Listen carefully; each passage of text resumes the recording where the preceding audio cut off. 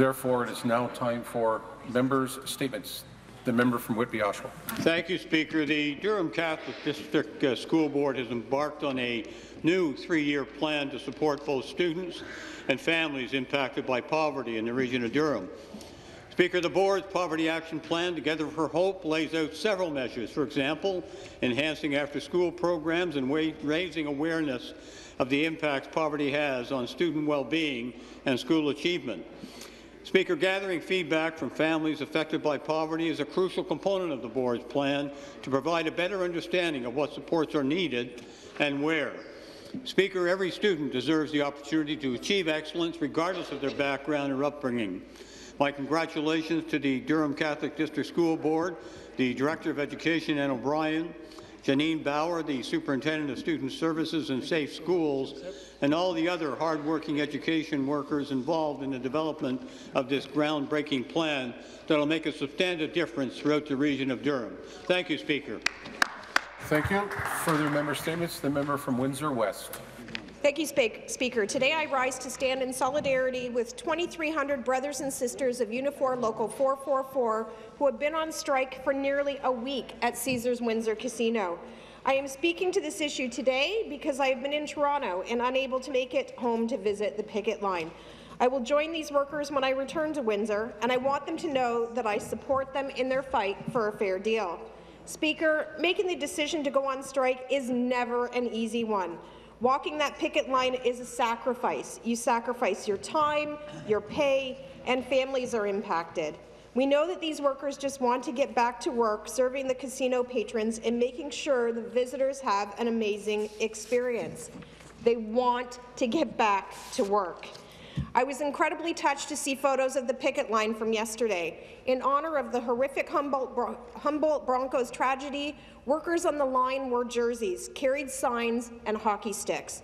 It was an amazing display of community spirit and togetherness. So I want to thank our striking 444 members for that incredible gesture and send my sincere, sincere support and solidarity for their efforts. Further member statements. The member from Eglinton Lawrence. Thank you, Mr. Speaker. I rise today to speak to uh, Holocaust Remembrance Day, Yom HaShoah. Last night, I attended uh, the Yom HaShoah community commemoration uh, hosted by Shaarei Tefillah congregation, the synagogue in my riding.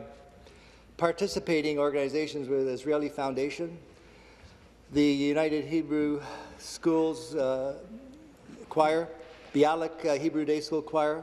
There are a number of survivors there, Mr. Speaker, who gave testimony to what they had witnessed as young children back in the 30s and 40s. And they talked about how the Nazis uh, from 1935 to 1945 slaughtered their brothers, their sisters, their mothers, their grandmothers. They slaughtered and murdered six million human beings that were innocent they slaughtered them because they were Jewish. They were there to say this should never happen again. Six million Jews who were forced into gas chambers in Auschwitz and Dachau, Bergen-Belsen, beaten to death, executed, uh, buried alive in these death camps all across Europe. This went on year after year while the rest of the world stood by and did nothing. They did nothing. They knew the slaughters were taking place. Men, women, and children were being slaughtered, and they did nothing. That's what we want to pay, pay tribute to today, and remember that. And, uh, Mr. Speaker, uh, after, I'd like to move unanimous consent for a moment's silence for Yom HaShoah Holocaust Remembrance Day. The member from Eglinton Lawrence is seeking unanimous consent to do a moment of silence, and it will be done after all of the statements are made. Do we agree? Agreed. Thank you. Further member statements? The member from Thornhill. Thank you very much, Mr. Speaker. And today, um, as we heard from the member from Eglinton Lawrence, is Yom HaShoah, which is Holocaust Remembrance Day, and we're paying homage and to reflect on what occurred during the Second World War to the Jewish community, the attempted genocide of European, and actually they wanted to take it across the entire world. Um, and uh, spread their message of hate um, from Nazi Germany. Um, well, decades later, unfortunately, we can't say that anti-Semitism isn't alive and well in the world. Uh, we had Chabad at Flamingo in my riding of Thornhill just a couple of weeks ago. Uh, synagogue had rocks th thrown through its front glass doors. And uh, we just had a couple of weeks ago as well in France, a Jewish woman, 85 years old, a Holocaust survivor named Mireille Knoll, who was stabbed 11 times and killed in her apartment in France. Uh, so I'm hoping, I see all the children up here in the gallery, and I hope that when they grow up to be adults, that we can eradicate hate against all communities and uh, that we can work together, one of the best provinces, one of the best countries in the world, to ensure that a message is spread far and wide to say never again and uh, to really mean it. Unfortunately, it's not always true, Mr. Speaker. So uh, next week we'll be commemorating Yom HaZikaron to remember the victims of terrorism and the fallen soldiers in Israel fighting for freedom, as well as Israel's Independence Day, Yom Ha'atzmaut, ending on a good note. Thank you, Mr. Speaker. Thank you. Further members' statements? The member from, no, I'm, I'm coming full, full circle. Thank you. The member from Essex, by mistake. That's okay. Thank you uh, very much, Speaker. Speaker, I'm honored to recognize a special and inspiring young man from my hometown of Belle River today. Justin Jewell is a 17-year-old musician who has recently undergone treatment for cancer. What makes Justin's journey so special is that while overcoming his own health challenges, he's used his gift to help heal other kids facing their own challenges. Speaker, we all know the power of music. It can fill your heart, it can heal your soul, but from the mouth, the mouths of babes, it can heal your body. Justin began sharing his gift with other children while at the Children's Hospital at the London Health Science Centre, and the sweet sound of his mandolin or guitar filling the hallways of the hospital could be heard with his perfect pitch delivering some of the classics from Led Zeppelin and beyond. They were welcome and as a respite for other families and patients who were undergoing treatment. Justin was joined by his proud parents, Jim and Lorraine, who have helped encourage him to follow his passion since he first took up music. Speaker, I've had the great opportunity to hear Justin jam, and he's a force of nature. And it takes a special kind of person to face your own challenges, but yet find the strength to comfort and entertain others. I'm happy to report, Speaker, that Justin continues to make progress post-treatment, and it won't be long before we see him at the top of the Billboard charts making his own music and healing us all through his gift. Keep rocking, Justin. We are all so very proud of you. Thank you. For the member statements? The member from Barrie. Speaker, today I wish to congratulate the James Barker Band on winning the Country Album of the Year at the Juno Awards last month. The four members of the band are James Barker, Taylor Abram, Bobby Martin, Connor Stephen, and I'm proud to say that Taylor Abram is from my riding of Barrie. The James Barker Band was created in 2013, and they got their big break when they won the Emerging Artist Showcase at Boots and Hearts in 2015, earning a record deal with Universal Music Canada. Last year, they released their first album and became the first group in history to top the charts at Canadian country radio with a song from their first breakout recording. In light of these accomplishments, the James Barker Band was nominated for five Canadian Country Music Awards, including Album of the Year, Single of the Year, Video of the Year, and Group of the Year. They were nominated for two Juno Awards, Breakthrough Group of the Year and Country Album of the Year, ultimately winning the prize for Best Album. I want to once again congratulate the James Barker Band on their Juno win and all their recent accomplishments, as well as to wish them continued success in the future. Thank you. Further member statements. The member from Carleton, Mississippi Mills. My apologies for my first miss. Thank you, Mr. Speaker.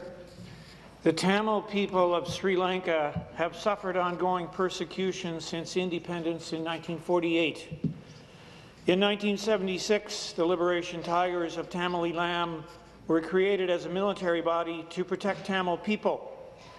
A civil war began in 1983 the Tamil Tigers became a strong and effective fighting force. In 2006, the Canadian government was persuaded to place a terrorist designation on Tamil Tigers. This had the effect of marginalizing Tamil people in the eyes of the world. The Civil War ended in 2009. The Tamil Tigers were completely decimated. The Tamil Tigers will never be a fighting force again. The terrorist designation is not needed anymore. but the terrorist designation still exists. It is like a black cloud hanging over the heads of Tamils in Canada. It stigmatizes them. It prevents them from publicly mourning and remembering their fallen people at their remembrance services each year. In the interest of restoring respect and dignity to the Tamils in Canada, I ask the Government of Canada to remove the terrorist designation from the Liberation Tigers of Tamil Eelam. Mr. Speaker, I have a motion calling for the removal of the terrorist designation from the Liberation Tigers of Tamil Eelam, which I will present to the clerk's desk at this moment. Thank you. Please feel free. Further member statements. The member from Perth Wellington. Thank you, Speaker. Speaker, Wednesday, April 4th was a great day for the people of Wellington County. That's the day we celebrated the 50th anniversary of the Wellington Advertiser. We gathered at the Wellington County Museum and Archives, along with municipal officials, our new Senator Rob Black, our MPs, and the member for Wellington Halton Hills. 50 years is a remarkable achievement in the newspaper business, in a family business, or in any business. The advertiser is more than that. It's an institution and an essential public service. To coincide with the celebration, the Archives launched the complete digitization of the advertiser, from its first edition on March 12, 1968, all the way to 2018, or 2018. But we now live in a challenging environment for community newspapers. According to the Public Policy Forum, one-third of journalism jobs have been lost over the last six years. Last year in Perth Wellington, we lost newspapers in Stratford and St. Mary's. But there's also a bright side. Despite the difficulties in the, in, in the industry, many papers are still going strong. The advertiser, after 50 years, is still going strong. That's good for every community and every citizen they serve. The advertiser is a local voice, an independent voice, and an essential voice.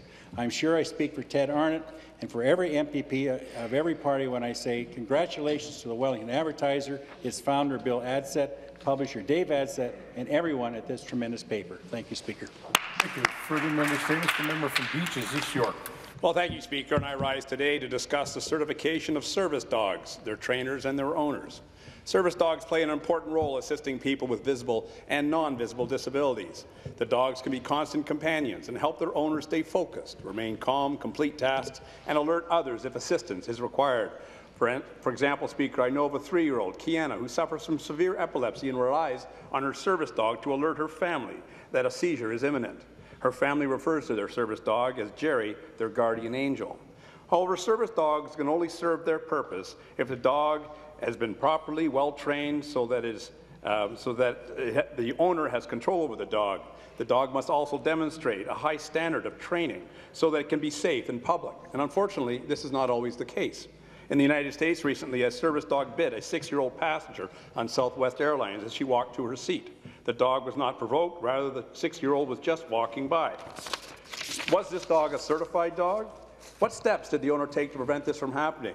Airlines need to know that the dogs coming with people have been properly certified and trained so that they can be allowed onto a plane. A similar case occurred in Ontario where someone was asked whether they could pet the dog, and the, the owner said no, the dog will bite. Well, if a dog is prone to biting, Speaker, it just really shouldn't be. It clearly wasn't properly trained. So we're having good work done in my community. Toronto Beaches Lions is training dogs with the annual Care Rally. It also is part of the Lions Foundation of Guide Dog of Canadian Dog Guides, and last summer they hosted the Pet Valu Dog Walk. Speaker, as Kiana's parents said, the service dog is a guardian angel. We must ensure that all dogs act the same. Thank you. Thank you. Further member statements. The member from Scarborough Rouge River. Thank you, Mr. Speaker. I feel exceedingly happy and uh, very privileged to introduce this legislature, the Muslim Welfare Center, whose head office is in my riding. Mr. Speaker, I'm a very proud Christian, and yet my mentor is internationally renowned, the late Major Abbas Ali. He and his wife founded this wonderful organization in 1993. I was uh, elected as Toronto City Councillor in 1991. Therefore, you could say that the Muslim Welfare Center and I have grown up together in Scarborough. Major Abbas used to preach Service to humanity is service to Allah God. The Muslim Welfare Center has been practicing his slogan for the past 25 years, helping needy people locally, nationally, internationally. Many in the center call me I'm their ambassador, and I feel very proud. Time wouldn't allow me to list all the wonderful service this organization provides, so please uh, let me say just a few items here. This year, more than 25,000 people have picked up the weekly food bank, and uh, they have distributed more than 260,000 meals on wheels. The Arctic Food Bank in Inuit serves over 1,200 indigenous families, free medical care, international human relief, and the Muslim Welfare Center has thousands of dedicated volunteers and very strong supporters for their good cause. Thank you, Mr. Speaker. Thank you. To Representative. A point of order from the uh, member from Scarborough Rouge River. Carry on. Thank you, thank you, Mr. Speaker. I'm so happy that uh, we're welcoming uh, Shakid Khan, uh, Executive Director, Muslim Welfare Center, and uh, Muhammad Rehan, General Manager, Muslim Welfare Center. Welcome to our legislature. Thank you. Thank you, Mr. Speaker. Salam alaikum. We have um, passed unanimous consent to observe a moment's silence for the Holocaust Remembrance Day. I would ask everyone in the place to please rise for a moment of silence.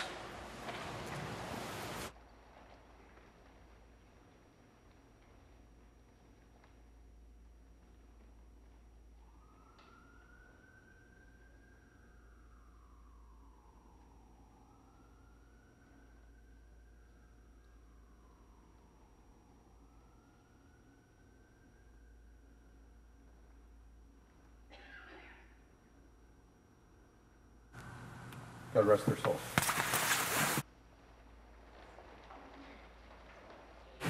It is therefore time for reports by committees. Reports by committees.